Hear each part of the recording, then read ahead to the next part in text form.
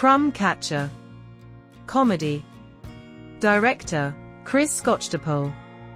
Stars, Rigo Garay as Shane, Ella Rae Peck as Leah, Lorraine Farris as Rose.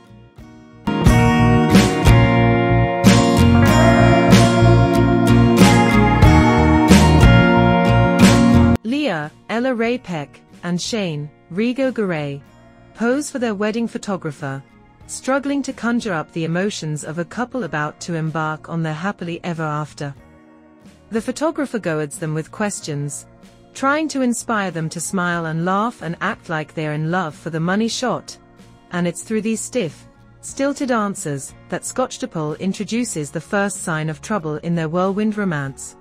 Leah works for the publishing house that is set to publish Shane's novel, which is based on his absent from the wedding father, and it's clearly driven a wedge between them that Leah is oblivious to.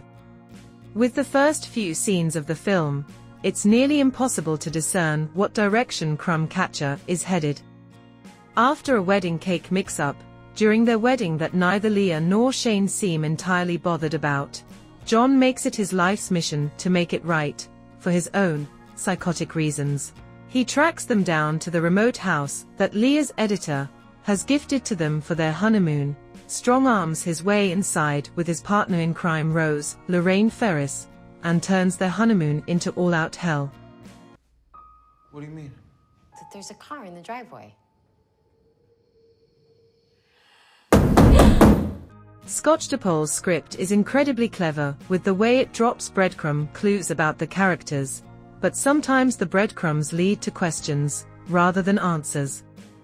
While Peck and Garay are stupendous actors who play off each other quite nicely, the script frames their relationship as cold and ill-matched romantically. This narrative choice makes it difficult to sympathize with either of them, or even root for their survival, which also, ultimately, aids in making the film a wholly uncomfortable experience from start to bitter finish. With a runtime of around 98 minutes, Crumb Catcher doesn't have a lot of time to develop its characters beyond the bare necessities. John is a cartoonishly frantic and deranged man, who seems entirely detached from reality, while Rose is just his Vanna White in a red dress, whose motives are largely unknown to the audience. Despite its nearly fatal flaws, Crumb Catcher is an insanely impressive directorial feature debut for Skotchdopole.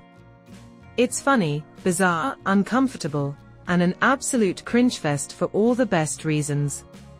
Skotchdopole has secured himself as a writer-director to keep an eye on, as he continues to refine his skill and explore the depths of depravity with a clever, humorous voice. IMDb 6.8 Metascore 52 Rotten Tomatoes 74 Pros The film is clever in how it drops breadcrumb clues about its characters.